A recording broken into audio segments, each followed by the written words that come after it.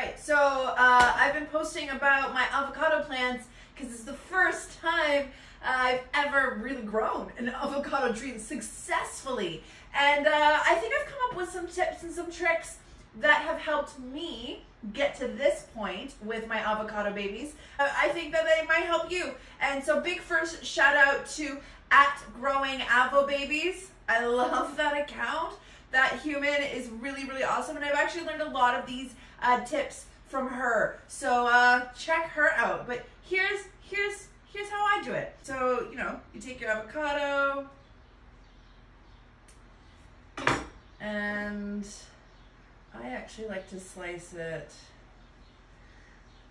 in fours. And the reason I, I like to slice it in fours is because then you just pop it off. And you don't have to do that like weird knife thing where you put the knife in and you wiggle it around because you actually might cause some damage to the nut.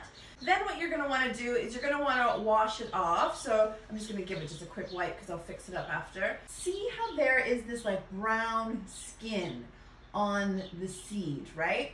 What you actually want to do, and according to At Growing Avo Babies, is you want to very gently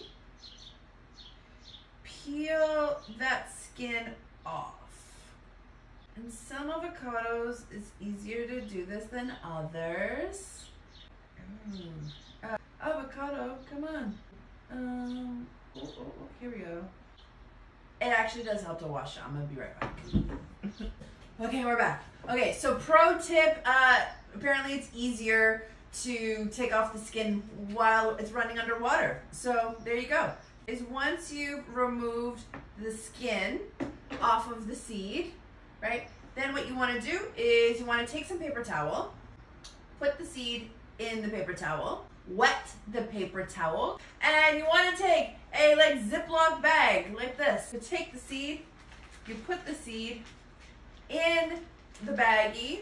Now I do it up a little bit, but not the whole way. There needs to be a little bit of airflow. I take this baggie and uh, I put it in the sun. I put it right on my wind on my uh, on my windowsill, and once it's on my windowsill, it sits there and it hangs out, and then it'll start to grow a little tail, and that little tail is the root.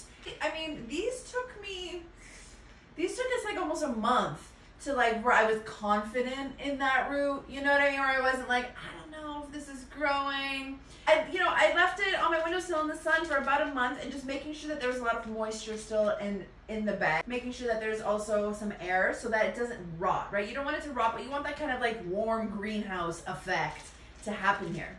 Then you get uh, some toothpicks and you kind of put them in one, two, three, or you can do two or three. It depends. Three is probably better.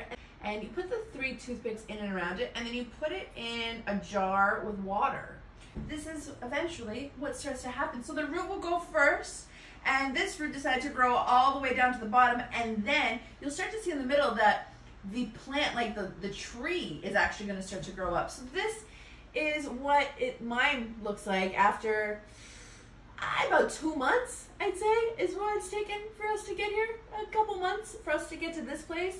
Um, but avocado trees take a long time to grow, and sometimes they won't even fruit, especially if you bought your avocado um, and it wasn't organic.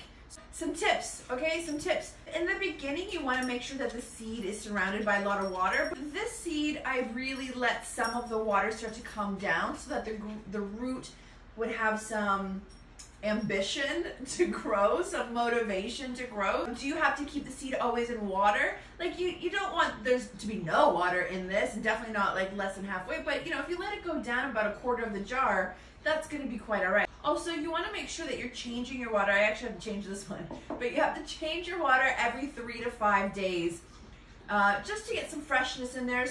If you happen to have a seed um, and you know it has the root but there's no growth that starts to pop up through the top.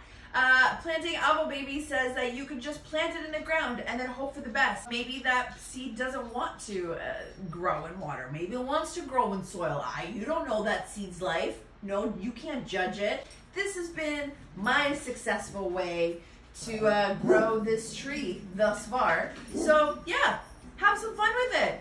Happy growing. Love you guys. Get your hearts up